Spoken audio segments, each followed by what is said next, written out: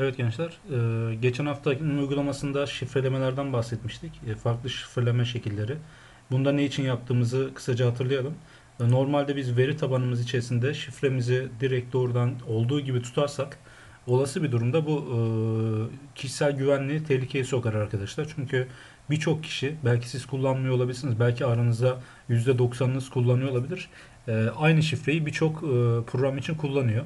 Dolayısıyla arkadaşlar bu tanımlamalar içerisinde ilerleyen zamanlarda güncellemeler yapacağız. Şifre değişikliklerini ve vesaire yapacağız. Herkes her kullanıcı kendine ait bir şifre oluşturacak gibi yapıları içi, e, içinde bulundurması gerektiği için arkadaşlar kişisel güvenlik söz konusu olduğundan dolayı biz veri tabanında bu şifreleri nasıl tuttuğumuzu söylemiştik. Bir MD5 ya da SHA e, filtreli olarak tuttuğumuzu söylemiştik. Geçen haftanın uygulaması 256 bit yapmaya karar vermiştik değil mi? SC 256'yı kullanmıştık sizlerle beraber. Şunu şu tarafa doğru çekelim. Evet SC 256'yı kullanmıştık arkadaşlar. Ne yapıyordu? Ee, X2 olarak almıştık. Yani ikişer karakter olarak almıştık. Gerçekte olduğu gibi. Ve e, MD5 ile beraber yazmış olduğunuz e, metniniz ne olursa olsun uzunluğu ne olursa olsun arkadaşlar onu ne yapıyordu? 32 e, karakterlik bir yapıya dönüştürüyordu. E, byte cinsinden şifrelemeyi yaparak. SHA'yı da aynı şekilde arkadaşlar şifrelemeyi yaptıktan sonra 64 karakterlik bir e, ne yapıyordu? E, bir yapı oluşturuyordu bizlere ve bu yapı sayesinde de e, doğrudan şifremizi tutmak yerine şifrelenmiş şekliyle e, anlaşılması zor olan bir yapıya dönüştürmeyi kararlaştırıyordu. Şuradan tekrar gösterelim sizlere hatırlatmak için unutmayalım demiştik arkadaşlar. Bir tanesi 1 2 3'tü. Bir tanesi de 1 2 3 4'tü e, yapıları. Yine sonuçta elimizde az önceki program kalacak. E, dolayısıyla da arkadaşlar bakın ne yapıyorduk? E, istediğimiz zaman değiştirebiliriz bunları. Hani hatırlamamız hatırlamamamız durumunda sabit bir şeyi 1 2 3 ya da 1 2 3 4 olacak şekilde verebiliriz. Yanlış hatırlamıyorsam şu 1 2 3'tü, şu da 1 2 3 4'tü e, diye hatırlıyorum. Evet arkadaşlar bu şekilde ne oluyor? Bu kullanıcı işte bunu yazmak zorunda kalmayacak. Biz birazdan e, oluşturmuş olduğumuz fonksiyonu tetikleyerek orada üretmiş olduğumuz yapıyı buraya göndereceğiz arkadaşlar bir login işlemi sırasında. E, bu bu şekilde kalsın. Şimdi ben şunu oluşturmak istiyorum arkadaşlar. Sizlerle beraber bir e, görsel bir buton oluşturalım demiştim sizlere. Daha doğrusu görsel bir form oluşturalım demiştim. E, bunun için de kendi üniversitemizin e, logosu üzerinden değişiklikler yapalım. Ee, bir düzenleme yapalım. Ee, şunu ben bunu bir bakın PNG formatında, PNG formatında yani arka tarafta örgü yok arkadaşlar burada. Ee, yeni bir şey istiyorum. 196'ya 196 yaptım ben boyutlarını ama siz istediğiniz herhangi bir şey yapabilirsiniz. Tabii ki genişliği bu şekilde olmasın. Biraz daha formun tamamını burada tasarlayacağımız için 400 gibi bir e, ifade olsun arkadaşlar. Hatta şu da ne diyelim 200'e 400 olsun. Evet şöyle bir yapı kurduktan sonra arkadaşlar getiriyorum. Ee, şurada kopyalamış olduğum yapıyı buraya yapıştırıyorum. Böyle bir tasarım yapacağım. Ve bunu şu kenara alıyorum arkadaşlar. Evet şöyle de tam kenarlara gelmeyecek şekilde. Ee, şimdi bakın şuna dikkat edin. Arka plan şu anda var. Ben arka planlı olsun istemiyorum. Arka planlı olursa arkadaşlar e, bu görsel tasarım formunu gerçekleştiremeyiz. Şimdi benim internetten indirdim. Bir tane de şöyle bir yapı var e, bu arada. Ee, şöyle bir resim var. Bu resimdeki şunları kullanmak için sadece aslında e, belirleme yapacağım. Şimdi bunun için de arkadaşlar e, siz tabii ki başka bir yerden da alabilirsiniz. Benim şu andaki boyam beyaz olsun. Şunun içerisini boyuyorum arkadaşlar.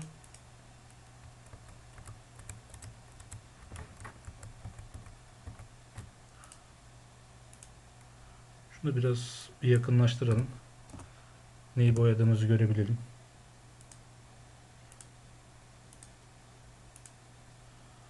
Evet.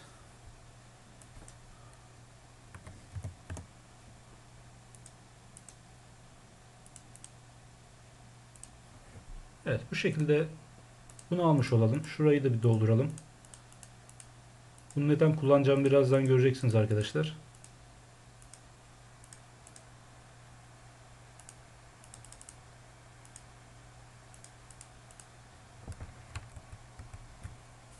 Evet şimdi oluşturmaya çalıştık. Şimdi geliyorum buradan. Seçme aracıyla arkadaşlar. Bakın şunu aldım.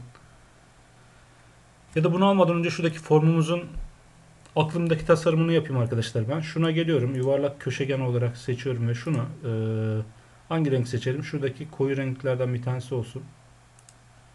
Evet tamam diyelim. Ve bununla beraber bakın seçmiş olduğum renk buraya geliyor. Photoshop e, yani illa gibi bilmenize gerek yok da ben şöyle bir şey yapacağım arkadaşlar buraya.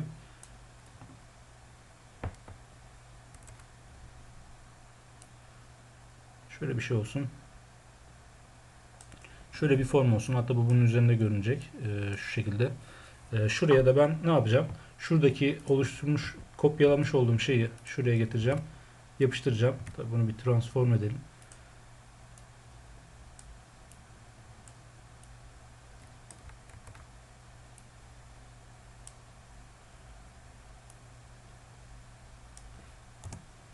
Evet şöyle bir hani buraya kullanıcı adını girmesini sağlayacağım birazdan. Şuraya bir text box atacağım. Ee, aynı şekilde diğer taraftan şu doldurmuş olduğum bu sefer neyi seçeceğim? Ee, tolerans değerini biraz yükseltirim buna. Ekleyelim.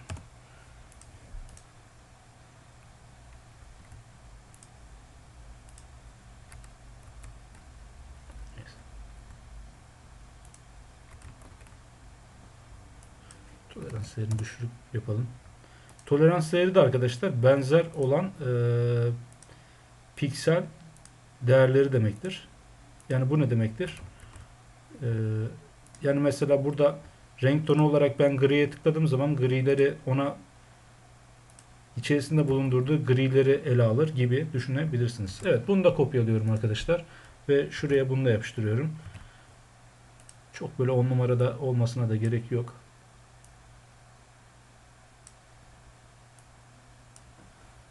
Evet. Bu şekilde bir tane de key'imiz olmuş olsun. Evet. Şuraya da arkadaşlar bir tane başka bir text box ile beraber ne yapacağız? Ee, doğrudan ifademizi atacağız. Ya da burada şunu da yapabilirdik. Düzgün görünmesi için diğer tarafı seçip silebilirdik ama neyse o kadar önemli değil arkadaşlar. Yani şurada sadece istediğimiz tasarım oluşturduğumuzu görelim. Ee, bizim için yeterli. Hatta şunu da biraz daha e, şöyle biraz küçülteyim isterseniz. Biraz daha görselliği güzel olacak gibi duruyor. Evet. Biraz daha küçülttük. Şunu biraz kaydıralım şuraya. Şunu da kaydıralım.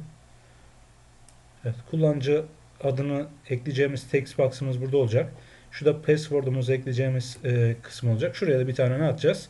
E, buton atacağız arkadaşlar. Evet. Şimdi bunu ne yapmanız gerekiyor? Bunu arkadaşlar dosyadan farklı kaydet ya da save as Burada e, PNG formatını seçmeniz gerekiyor. Buna da ne diyelim? İşte login arka plan diyelim arkadaşlar. Login arka plan diye PNG olarak kaydediyorum. Bunu kaydederken bakın bana örgü var mı yok mu diye soruyor. Yani örgüyü taramalı seçerseniz şuradaki boşlukları taramalı olarak verir ama ben yok seçeceğim. Burada buna dikkat edin. Yok olmasına dikkat edin. Evet bunu kaydettikten sonra arkadaşlar şimdi açıyorum burada. Şimdi şunu kapatayım isterseniz. Burayla işimiz yok. Form 2. Burayla da işimiz yok arkadaşlar. Ee, şurasından devam edebiliriz. Şimdi ben bir tane login form oluşturacağım. Ekleden bir tane form ekleyeceğim. Buna da ne diyelim? Login diyelim. Evet. Bu kadar büyük olmasına gerek yok bizim için.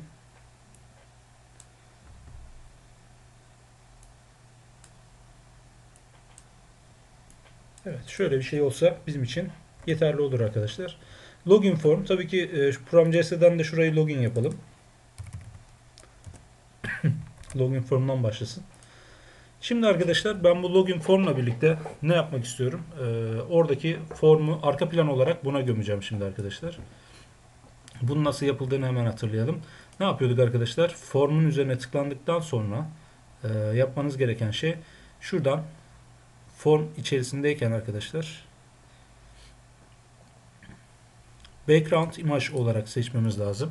Şu anda herhangi bir bu zamana kadar atmış olduğumuz herhangi bir şey yok. Ben içe aktar diyorum. E, masa üzerine kaydetmiştim. Buradan bakalım. Login arka plan olarak kaydetmiştim. Evet bu resim. E, tamam diyorum. Bakın şu anda bunu ne yaptı? Arka plan olarak attı. Ben bunu aşağıya doğru kaydırırsam arka plan olduğu için bunu tekrarlayarak devam eder arkadaşlar. E, ama Ben şu anda bu kadar kalsın. İstersem tabii ki bunun tekrarlamasını istiyorsam yani şu kadar olsun ama tekrarlamasın diyorsam arkadaşlar ne yapıyordum? Background kısmından bunu sadece center'a alıyordum. işi bitiriyordum. Tamam Şimdi buradan sonra e, bu işlem içerisinde ben bir tane buraya buton atacağım.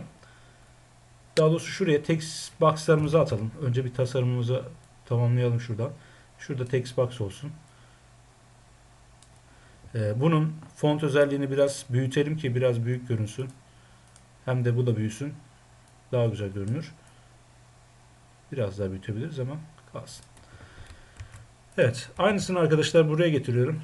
Tabii ki burası benim için nedir? Ee, password char olarak belirlemem lazım burada. Hemen onu yapalım isterseniz.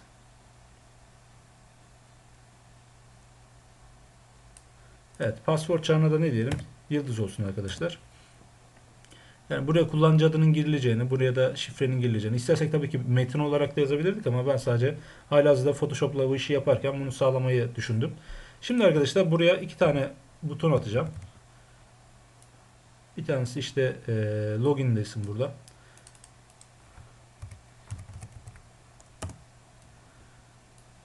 Bir tanesi de arkadaşlar ne yapsın? Cancel buton olsun.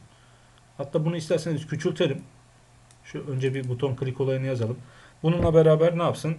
Application.exit desin arkadaşlar.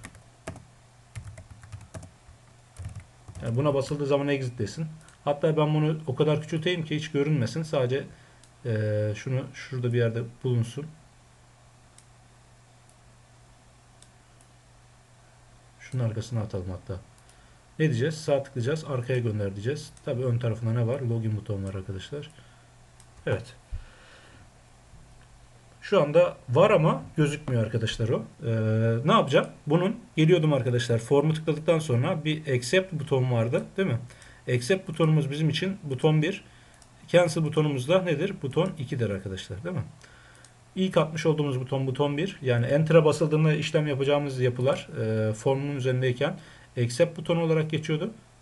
Nerede bizim accept butonumuz? Evet. Accept buton buton 1. Cancel butona da ne dedim? Buton 2 dedim arkadaşlar. Evet. Hatta şu anda e, ben şöyle bir şey yapmak istiyorum. Bir isterseniz nasıl göründüğünü bir size göstereyim. Nasıl görünüyor arkadaşlar bu? Evet çalıştırdığınız zaman böyle bir şey görünüyor ama ben benim istediğim şey bu değil. Ben şunlar görünmesin ve şuradaki grilikler görünmeden bu işi yapabileyim istiyorum arkadaşlar. E, dolayısıyla bununla alakalı ayarlar yapmam lazım. Öncelikli olarak ne yapmamız lazım? Şurası sizable değil de none diyerek e, üst taraflarını götürmemiz lazım. Formun üzerine tıkladıktan sonra form border style'ına none diyorum arkadaşlar. Yani hiçbir şey olmasın. Zaten kapatma işlemini yapabilecek miyim? Evet. SC'ye bastığım zaman kapanacak istersen. E, dolayısıyla bunu yaptıktan sonra arkadaşlar e, ne e, belirlemem lazım? Şunu biraz daha aşağıya alayım. Evet şöyle daha güzel duruyor. Şimdi formumu tıkladıktan sonra şurada benim için bir tane özellik var. Back color diye bir özellik arkadaşlar. Back color özelliğini böyle e, ne yapalım? Black diyelim mesela. Siyah olsun arkadaşlar. Web'in içerisinde black olsun. Arka taraf siyah görünsün. Nasıl bir görüntü olacağını tekrardan göstermek istiyorum sizlere. Evet bakın böyle bir görüntüsü var şu anda. Ama benim istediğim şey bu değil. Buraların saydam olması. SC'ye basıyorum ve çıkıyorum. Ee, dolayısıyla arkadaşlar formun transparency özelliği vardır bakın burada. Transparency key dediğimiz. Yani hangi renk saydamlaştırılacak, transparan haline getir transparan haline getirecek. Seçiyorum buradan web'den ne demiştik arkadaşlar? Arka plan rengi yani siyah ne olsun? Şurada ayarlamış olduğum renk siyahtı bakın. Back kalır. Siyah olan renkler görünmesin diyorum arkadaşlar. Yani bunun üzerinde siyah bir şey varsa görünmesin. Tabi siz kendi tasarımınızı mesela siyaha yaptıysanız benim buradaki yapılar içerisinde siyah pek fazla yok. Ee, mesela sizin e, buradaki resminiz içerisinde siyah varsa o zaman olmayan bir rengi seçersiniz. Yani gelirsiniz burada onlarca böyle farklı renk var. Hiç olmayanlardan bir tanesini seçersiniz sizin renk tonunuza göre. Tamam Bunu lütfen dikkat, dikkat edin. Evet peki bu sayede ne olacak? Bir bunu göstereyim size.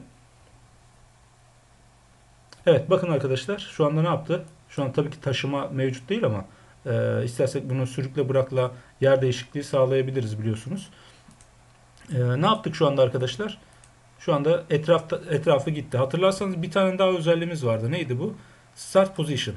Ben bunu center screen yapayım arkadaşlar ki ilk açıldığında doğrudan ne olarak görünsün karşımıza gelsin. İşte şifrenize işte admin gireceksiniz ya da her neyse onu girdikten sonra şifreyi gireceksiniz ve login ol dediğimizde ne olacak arkadaşlar? Login olmasını istiyoruz. Şu anda bakın tasarımımız gayet güzel şekilde görünüyor. Ee, hiçbir problem yok. Ee, bu şekilde istediğiniz herhangi bir şeyi arkadaşlar e, ama şuna dikkat ederek PNG formatında olmasına dikkat edecek şekilde e, ne yapabilirsiniz? Oldukça basit şekilde ayarlayabilirsiniz arkadaşlar. Tamam. PNG formatında olacak şekilde. Ama şimdi her PNG'de de arka tarafı e, boşluk değildir. Ona dikkat edin. Yani arka tarafın boş olması lazım. Neden? Çünkü biz e, bir formun back, e, back color'ını ayarlarken boş olan yerlere sadece siyah atıyor. Ve ben transparency key içerisinde bunu söyledikten sonra da ne yapıyor arkadaşlar? Doğrudan işlemimizi buna göre sadece siyah olanları e, görmezden gelecek şekilde yapıyor. Mesela şuna da dikkat edin. Ben bunu çalıştırdıktan sonra bakın şu buralar normalde bir şey varmış gibi görünüyor ama ben buraya tıkladığım zaman bakın orada herhangi bir şey yok. Yani sadece şu kısımlara tıkladığım zaman kalıyor. Diğer türlü e, transparan olan kısımlara tıkladığınız zaman bir form kısmı da olsa orası herhangi bir şekilde açık değil. Evet bence gayet e, güzel bir şekilde form oldu arkadaşlar. Bir giriş formu oldu. E, şimdi ben bu giriş formunda geçen hafta yapmış olduğumuz o MD5 şifreleme ile beraber bir login işlemi yaptıralım bakalım. Nasıl yapıyoruz yani ona bir bakalım. Evet. Şimdi bunu bir önce bir kodla yaptıralım. Yani buton klik özelliğiyle yaptıralım. Daha sonra burada bir fonksiyon yazalım. Daha sonrasında ne yapalım arkadaşlar? Kendi şu veri tabanı ismindeki e, class dosyamızın içerisinde yap yaparak gösterelim. Yani bütün varyansları buraya yansıtalım arkadaşlar. Evet. Şimdi şuradaki diğer taraftan elde etmiş olduğum form 1 CSM içerisinden arkadaşlar şunları alacağım. SQL connection'larımı alıyorum. Ve buraya yapıştırıyorum. Importlarımla uğraşmayayım. Tekrardan pardon özür dilerim yanlış yaptık. Ne yapacağız arkadaşlar? Şu kısma yapıştırdık bunu. Ee, sonrasında tabii ki ne yapacağız? Using system nokta data nokta SQL client diyerek e, bu işlemimizi gerçekleştirmiş oluyoruz. Veri tabanı bağlantımız için e, gerekli olan kaynak yapımız burada. Data source'umuz, e, server'ın ismimiz. SQL Express yine server iç, ismimiz içerisinde bulunan yapı. Initial Catalog hangi veri tabanına bağlanacaksak o veri tabanının ismi. Integrated Security'de bağlanırken herhangi bir şekilde şifre isteyecek mi? O şifre e, varsa e, ne yapıyoruz arkadaşlar? Şuradan kullanıcı adı şifresiyle beraber parametre olarak gönderiyoruz. Yoksa Initial Catalog e, yapı olarak e, bunu gerçekleştirmek durumundayız. Evet arkadaşlar şimdi ben bunu oluşturduktan sonra bir connection'ımızı da alalım şurada. Evet, bir şurada connection'ımızı oluşturuyorduk hatırlarsanız. Şunu şuraya kadar alayım. Data adaptere kadar alayım. Evet. Ne yapalım? Initialize component kısmında Connection'ımızı bir oluşturalım arkadaşlar. Data adapterle şu anda işimiz yok. Evet. Bunun yerine SQL Data Reader kullanacağım arkadaşlar şimdi bakın. SQL Data Adapter değil de Reader. Buna da ne diyelim? Data Reader'ın kısaltması olan şu DR'yi söyleyelim. Yine burada da command kullanmayacağız ama şunu kalsın. Datasette de işimiz yok ama yine de kalsın arkadaşlar. Şimdi benim şöyle bir sorguya ihtiyacım var arkadaşlar. String sorgu diyeyim ben burada. Eşittir. Evet. Bunun için arkadaşlar ne yapmam lazım? Bir select ifadesi kullanmam lazım. Select yıldız from değil mi? Benim için yıldız olsun. Yani tüm e, satırları geçsin. Önemli değil. Benim burada dikkat edeceğim şey sadece şu. Yani kullanıcı adı ve şifresi girildiği zaman doğru bir şekilde e, yani ikisinin eşlenmesi, eşleşmesini istiyorum. Peki neydi bizim tablomuzun ismi arkadaşlar? TBL login'di. Evet, TBL login. Ne kullanıyoruz artık? Ne kullanmamız lazım? Ver ifadesini. Ver. Yani nerede? Şartlarımızı belirteceğiz şimdi. Table login'deki tüm sütunları, değerlerini seç. Nerede, e, şartımız ne olacak? Ver. Diyeceğiz ki arkadaşlar hemen şuradan bakalım. Kullanıcı ve şifre. Benim için önemli olanlar bunlar. Kullanıcı adı burasıydı. Şifre de burasıydı arkadaşlar. Dolayısıyla ne yapmamı istiyor benim için? Ee, şunu hemen gerçek e, söyleyelim. Ee, nerede yapımız? Şurada. Evet. Ver kullanıcı eşittir bir şeyler. Değil mi? Bazı değerler e, xxx diyeyim arkadaşlar buraya ve işte şifre eşittir YYY olsun. Evet. Böyle olması durumunda ben birazdan ne yapacağım arkadaşlar? Bu e, sorgunun doğru olup olmadığını getirteceğim. Şimdi bundan önce benim geçen hafta yazmış olduğum fonksiyonu tetikletmem lazım arkadaşlar. Peki nasıl tetikleteceğim? Yani hangi fonksiyonu tetikleteceğim? Ben hatırlarsanız MD5 ile işlem yapmıştım. Şu MD5'i kullanmam lazım benim. Peki ne olarak kullanmam lazım? Yani benim şuradaki kullanacağım şifrem ne olmasını istiyorum ben. Ona göre ifade edeceğim. Şimdi bu çok e, nedir arkadaşlar? Oldukça basit bir kullanımdır. Şuraya e, string ifadeleri, metinsel ifadeleri, ikisi de metinsel ifadeydi. Tek tırnak içerisine alacağım şimdi bakın. Farkı gösterebilmek için. Şimdi şunu istiyorum. Kullanıcı adı ve şifre girildikten sonra eğer ki bağlantımız doğruysa e, işi yapsın. Değil mi? Onu istiyorum. Yani bir işte e, kullanıcı adı ve şifre doğru ya da giriş başarılı şeklinde bir ne versin arkadaşlar? Bağlantı versin. Ben isterseniz şunu burada değil de şurada oluşturayım. Connection eşittir new connection olarak tanımladık. SQL connection'ımızı yaptık arkadaşlar. Bir de ne yapmam lazım benim bir de? Command oluşturmam lazım. Yani az önce sildik ama onu o command ile işlem yapalım bir de. SQL çünkü bir komut işlemiyle bu istemiyle bu işi yapacağız. SQL command eşittir. Ne diyelim buna? cmd diyelim. Aşağıda da onun devamını oluşturalım. cmd eşittir new SQL command. Peki SQL commandımız içerisinde ne olacak? Sorgu virgül oluşturulan yukarıdaki sorgu ifadesini nerede çalıştıracak arkadaşlar? Connection içerisinde. Connection'ı kullanarak çalıştıracak. Evet. SQL command'ın iki tane e, parametresi e, en sık kullanılan şekliyle. Bunlardan bir tanesi sorgu. SQL sorgusu neyse arkadaşlar. Daha sonrasında bu sorguyu hangi connection üzerinden, hangi bağlantı, hangi sunucu üzerinden, hangi veri tabanına yapacağını söyleyeceğiniz e, kısımdır arkadaşlar. Daha sonrasında bu command'ı oluşturduktan sonra şunu yapmanız lazım. Ne yapıyorduk arkadaşlar? Connection nokta open diyerek e, açıyorduk bu e, bağlantıyı. Sonra şimdi ben e, burada arkadaşlar bunu çalıştıracağım. Yani bu sorguyu bir çalıştırmayı e, çalıştırıp sonucunu almak istiyorum. Normalde sonucu nereye atıyorduk biz? Dataset içerisine atıyorduk. Değil mi? Data adaptörü atıyorduk. Daha sonra data adaptörden geleni de fill ederek ne yapıyorduk? Dataset içerisine dolduruyorduk. Şimdi burada arkadaşlar data reader'ın şöyle bir güzelliği e, var.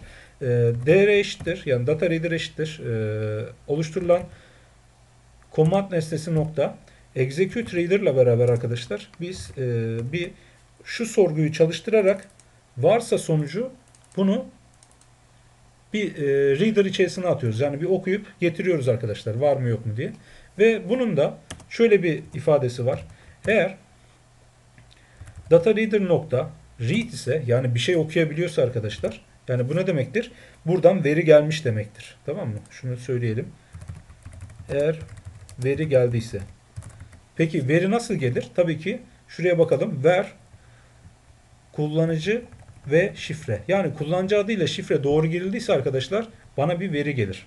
Tamam Eğer gelmiyorsa zaten e, şuraya da else diyelim. Else'de de veri gelmemiş. Yani kullanıcı adı ya da şifre yanlış demektir arkadaşlar. Çünkü benim şu sorgu sonrasında verden dedikten sonra kullanıcı adının şuradaki ifade şifrenin de burada buradaki ifade olması lazım. Çünkü neden? Ben V ifadesi kullanmışım burada. Tamam. Veya kullansam ikisinden bir tanesinin e, olması durumu e, karşımıza gelir. Ama biz burada hem kullanıcı adının hem de şifrenin e, doğru olmasını istiyoruz. Doğru olmasını bekliyoruz. Dolayısıyla böyle bir çıkarım yaptık. O zaman ne diyelim arkadaşlar? Eğer ki böyle bir e, satır geldiyse bize, böyle bir sorgunun sonucunda satır geldiyse ne diyeceğiz? Messagebox.show işte ne diyelim tebrikler.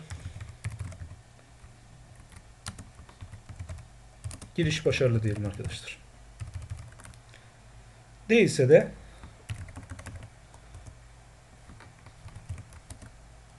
messagebox.show kullanıcı ya da veya şifre hatalı diyelim arkadaşlar ve sonrasında da ne yapalım? Ee, buradaki textbox bir nokta text'i hatta text demeyelim nokta clear diyelim. Temizleyelim arkadaşlar bunu. Ee, textbox 2 nokta clear diyelim.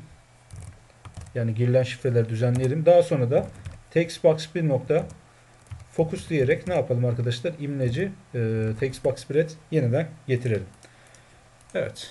İstersek kapça da yap- yapabiliriz buraya bu arada. Kapça hani 3 artı 5 gibi yapılar var ya işte onların doğrulamasını da yapabiliriz. O da oldukça kolay şekilde yapılabilir.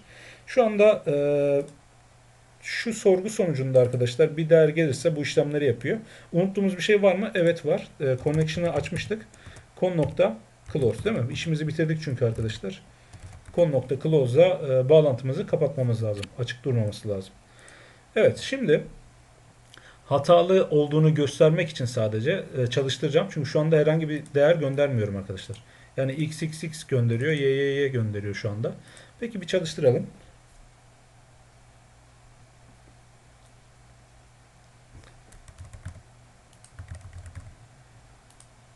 Evet, kullanıcı adı veya şifre hatalı. Bakın ne yaptı? Temizledi. Yeniden buraya geldi. Evet. Şu anda arkadaşlar şimdi şunu yapacağım. Ee, şuradaki veri setindeki yapıyı göstereceğim ben şunu sağ tıklıyorum ve edit diyorum.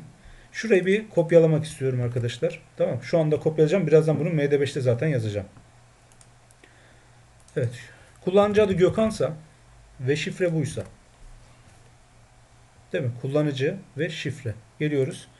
Kullanıcı ve şifre. Evet arkadaşlar böyle olması durumunda ne olmasını beklerim ben. Ee, şu anda textbox'ların herhangi biriyle bir işlem yaptırmıyorum. Dolayısıyla login dediğim zaman bakın tebrikler giriş başarılı dedi arkadaşlar. Tamam. Şimdi ben ne yapacağım? Şimdi hemen ona bir bakalım arkadaşlar sizlerle beraber. Şimdi ben şu ifadenin doğru olup olmadığını yani bakın hem kullanıcı adımız hem de şifremiz şu anda doğru. Peki ben buraya ne yapmayı bekliyorum? Tabii ki ben şuraya arkadaşlar bu aklınızda bulunacak. Şu ifadeler için şunu kullanacaksınız. İfade gelen yeri sileceksiniz. Burayı artı artıyla birleştireceksiniz ve buraya gelecek olan değeri buraya yazacaksınız. Bu çok e, aslında amatörce bir yaklaşım ama ben zaten birazdan bunu biraz daha profesyonel şekilde yazacağım.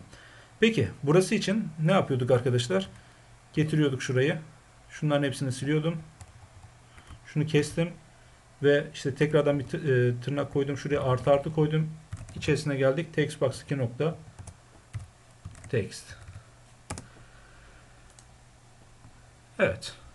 Şu anda arkadaşlar e, yapmış olduğum şey şu anda ben şifreyi kestim bu arada. Şeyde tutuyorum. E, şu anda biraz daha dinamik oldu. Bakın getiriyorum şuraya. Başlatıyorum.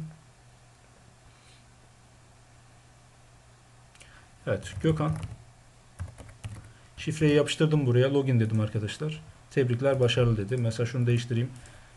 Kullanıcı adı veya şifre hatalı dedi. Hemen temizledi onları. Şimdi ben e, şeyi aklımda tutamam. Değil mi? E, şifrelenmiş halini aklımda tutamam. Onun için ne yapmam lazım arkadaşlar? Getiriyoruz şurayı. Nerede o yapımız? Evet şurayı. Getiriyoruz. Ne diyeceğiz şimdi şuraya? Textbox 2.text değil de textbox 2.text'teki değeri arkadaşlar ne yapmamız lazım? Şöyle yapmamız lazım. Hatırlarsanız neyimiz vardı? Veri tabanı içerisine ne atmıştık arkadaşlar burada? MD5 şifreli atmıştık. Değil mi? MD5 şifrele ne olacak? İşte e, textbox 2 nokta text yani şifre tarafında gelen ifadeyi ben ne yapacağım arkadaşlar? Atacağım buraya. Evet. Dolayısıyla şunu alıyorum. Ben artık oraya e, 1 2 3 yazacağım ve işi bitireceğim. Şuraya geldim. Textbox 2 nokta text yazılan yere ne yaptım? Veri tabanı nokta md5 şifrele. Bu sayede textbox 2'ye girilen değerin e, md5 karşılığını buluyorum ve ne yapıyorum? Onu gönderiyorum arkadaşlar. E, bakalım şimdi. Çalıştırdık.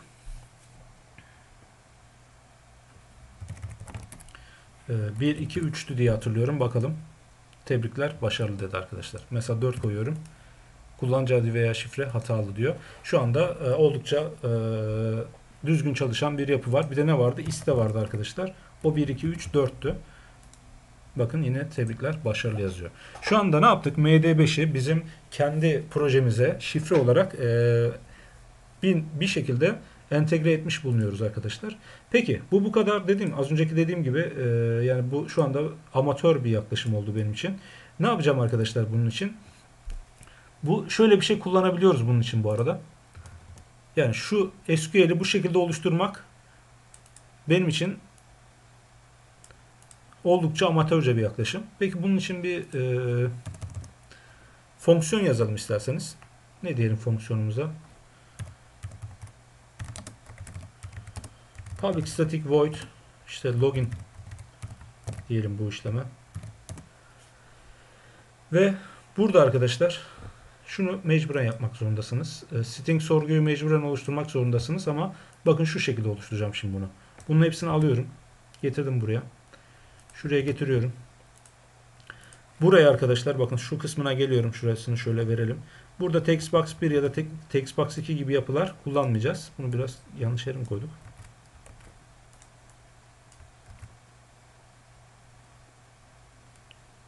Burada öyle bir şey oldu.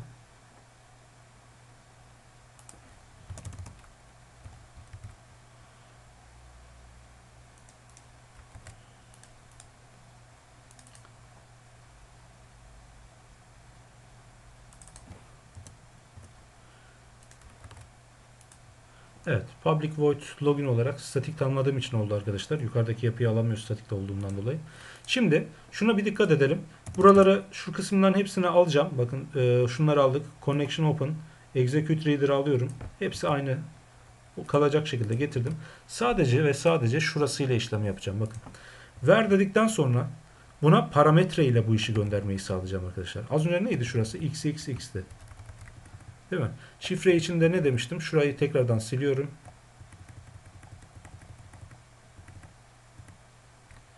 İşte y y y demiştim buraya. Şimdi arkadaşlar şöyle bir işlemimiz var bizim burada.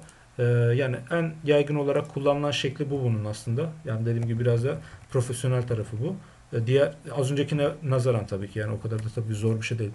Tam profesyonel olacak bir yapısı yok ama. Ee, bu yapıda arkadaşlar şunu şunu kullanıyorsunuz. Mesela buraya bir parametre ekliyorsunuz ve parametreleri biz burada et işaretiyle gösteriyoruz arkadaşlar. Et. Et işareti ne diyelim buna? User diyelim.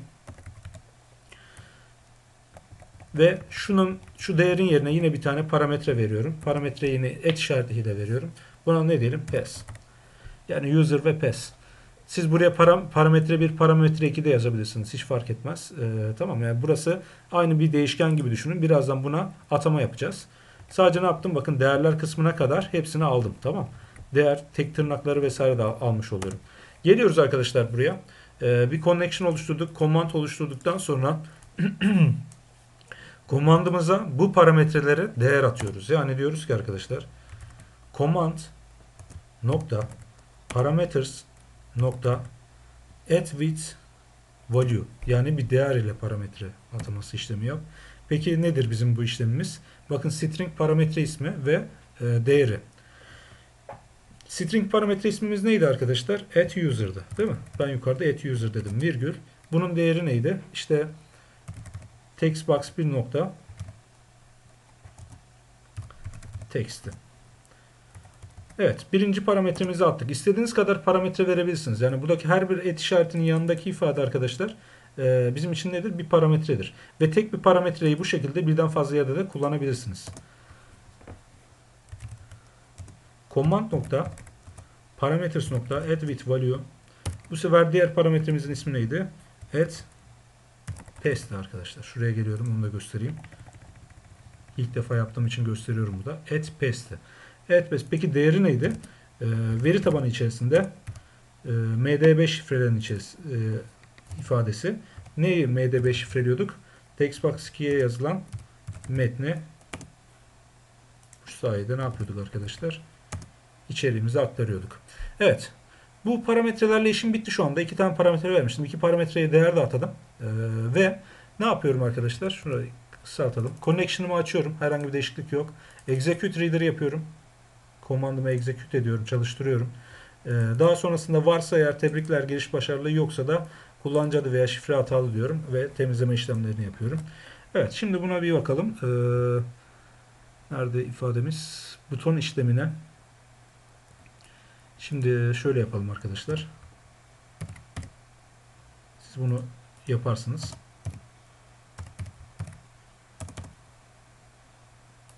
Evet. Ne demiştik? Login demiştik. Login fonksiyonunu çalıştırsın. Void olacak şekilde login'i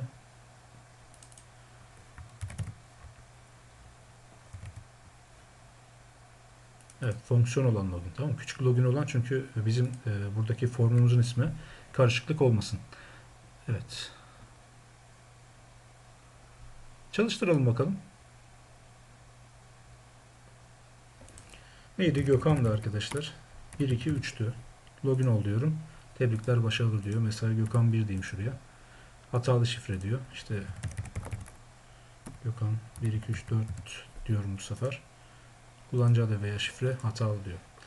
Evet. Aslında burada kullanıcı adını değil de şifresini sildirip e, o şekilde devam edebiliriz aslında. O da bir seçenek. Yani şu anda arkadaşlar bakın ne yaptım? Parametreleri birer değerle yazdım. Şimdi bunu bir de şöyle yapalım isterseniz. Bunu alıyorum arkadaşlar. Ve veri tabanının içerisine atacağım şimdi. Nereye atalım? Data grid doldurmanın hemen altına atalım. Public. Yine bunu da static void diyeceğim arkadaşlar. Public static void. Login dedim. Ee, login kontrol diyorum bakın buraya şimdi. Şunu da bu şekilde demesek daha iyi aslında. Ee, şurada bir de data grid tanımlayalım. Static SQL data reader tanımlayalım arkadaşlar. DR olacak şekilde. Evet. Komandımızı oluşturmuşuz. Sorgumuz tamam. Şimdi arkadaşlar ben şu sorguyu diğer taraftan parametre olarak gönde gönderebilirim ya da şu ne yapabilirim? Şurada zaten ben burada parametre oluşturmamış mıydım? Dolayısıyla kullanıcı adını ve şifresini şuradan string kullanıcı adı virgül string şifre olarak gönderteyim arkadaşlar. Şuraya da ne gelsin? İşte kullanıcı adı gelsin.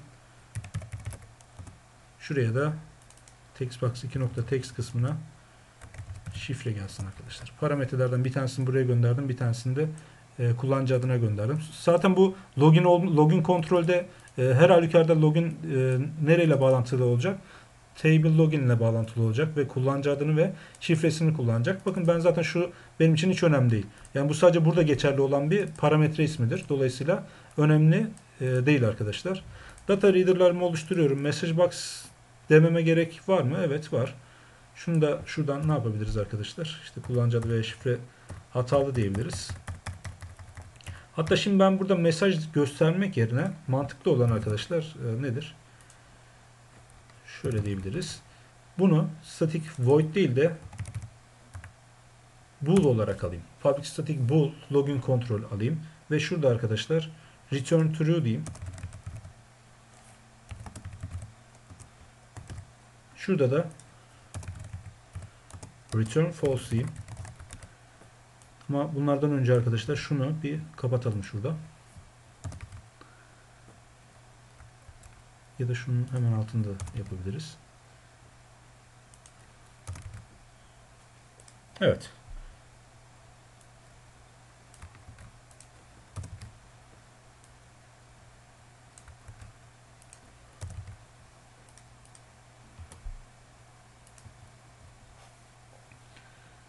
Evet arkadaşlar bir bu ifade olarak buraya gönderdim. Şimdi diğer taraftan nasıl kullanırım peki ben bunu? Oldukça basit. Bence artık bunu anlamışsınızdır. Ne yapıyoruz arkadaşlar? Buraya geliyoruz. Ee, şu login'i de kaldırıyorum şu anda. Tek bir tane olacak şekilde. Ne diyeceğim arkadaşlar? Ee, veri tabanı nokta login kontrol parametrelerimiz bakın string kullanıcı ve e, şey diyor string kullanıcımız textbox 1 nokta text virgül diğeri nedir arkadaşlar? String şifre. Yani textbox 2 nokta text diyeyim. Ben bu şekilde göndereyim. Zaten diğer tarafta ne yapacak o kendisi? E, ifade olarak gelecek. Ve bunu da bir eğerle kontrol edersem eğer true geliyorsa buradan. Dolayısıyla bu ne demektir? Ee, bağlantı başarılı demektir arkadaşlar. Şöyle şurayı tekrardan alayım.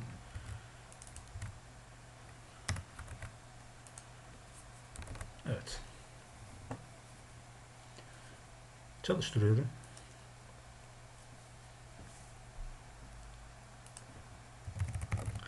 Evet Gökhan 1 2 3 dedim. Evet tebrikler başarılı dedi arkadaşlar. Demek ki şu anda ne yapabiliyoruz?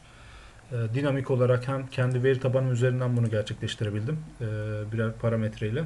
Hem de e, buton olayıyla yapabildim. Şimdi buton olayıyla yapmanın da iki şeklini gösterdim. Bir tanesi parametre olarak verme işlemi. Bir diğeri de ne arkadaşlar? Doğrudan e, bir string olarak sorguyu oluşturma işlemi. String olarak oluşturmak da çalışır. Hiçbir problem olmaz ama işte bu uzun uzadıya yazılan e, özellikle SQL sorgular şu anda çok basit bir şey yapıyoruz. Sadece bir TBL login içerisinden kullanıcı adıyla şifresini kontrol ettiriyoruz. E, bu arkadaşlar basit görünebilir ama ileride mesela belki iç içe kullanmanız gereken sorgular olacak. Karışır. E, bu durumda bunları ne yapmanız daha doğru olur? E, bence bunları parametreli olarak gerçekleştirmeniz daha doğru olur. E, elinize bunu alıştırın arkadaşlar. Add with value ile bunları gerçekleştirin. Peki şöyle şeyler aklınıza gelebilir hocam ben e, mesela kendi sorgularımız içerisinde ileride mesela e, mesela insert'te e, kullanmak için mesela parametre kullanabilir miyim? Evet kullanabileceksiniz. Ama mesela orada kaç tane değer gireceğinizi her seferinde dinamik olarak belirleme, belirlemeniz gerekebilir. E bu durumda ne yapabilirsiniz arkadaşlar? Parametre olarak şuradakinin içerisinde bir tane de dersiniz ki işte e, array list olarak bir tane parametre atarsınız. Array listin sayısına göre hem e, kaç tane olduğunu verebilirsiniz. Yani parametrenin kaç tane olduğunu verip, verip burada onları parse ederek e, çözümleme yapabilirsiniz. Şu anda tabii biraz böyle havada kaldı söylediğim şey ama ilerleyen aşamalarda bunları da kendi projeleriniz içerisine entegre edeceğiz arkadaşlar. Tamam. E, dolayısıyla şimdi mesela e, biz bunu yaptıktan sonra Nerede bizim? Burası değil de login.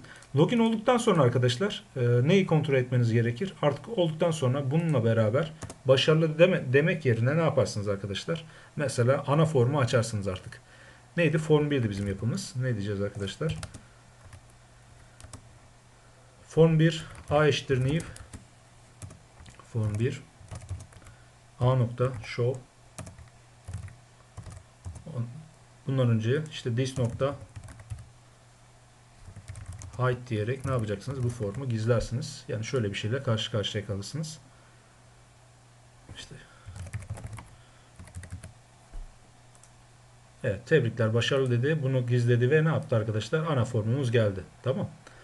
Bu sayede ne yaptık? Artık giriş yapmış olduk. Diğer türlü neyi de kontrol ettirebilirdik aslında. Mesela e, dediğim gibi isterseniz şuraya bir yere işte kapça yaptırabilirsiniz. Hani mesela 3 artı 5 eşittir vesaire rastgele sayı seçtirirsiniz. O sayıları toplattırıp e, ya da çarptırıp arkadaşlar e, işlemin sonucunu istersiniz. Eğer doğruysa bu işlemi yaparsınız. Oldukça basit. E, ya da ne yapabilirsiniz burada mesela? Bu işin 3 defa kontrol edilmesi işlemini yapalım isterseniz hızlı bir şekilde. E, şurada bir yerde şöyle diyelim. Public int deneme sayısı eşittir 0. İlk oluşturulduğu zaman deneme sayısı olsun arkadaşlar. Ve her hatalı oluşumda yani şu else kısmında e, deneme sayısını artı artı yapalım. Ve eğer ki deneme sayısı artı artı olduktan sonra 3'e eşitse mesela 5 yani bu istediğiniz sayıda yapabilirsiniz. Application nokta exit dersiniz arkadaşlar. Ve sonlandırırsınız. Ee, yani şunu söylemek istiyorum. Ee, mesela bu orada bir tane de mesaj verelim isterseniz. Messagebox.show işte İngilizcesi too many attemptions yani çok fazla deneme yaptınız diyor ya. Ya da şöyle 3 defa hatalı giriş yaptınız.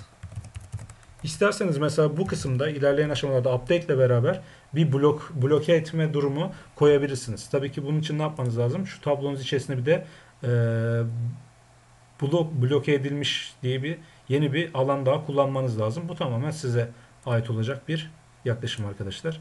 Yapabilirsiniz yani bunların hepsi e, artık ilerleyen aşamalarda kendinize entegre edebileceğiniz yaklaşımlar. Evet çalıştıralım. Evet. Login dedim. Bakın 3 defa hatalı giriş yaptınız dedi. Tamam diyorum ve kapattı arkadaşlar. Tamam?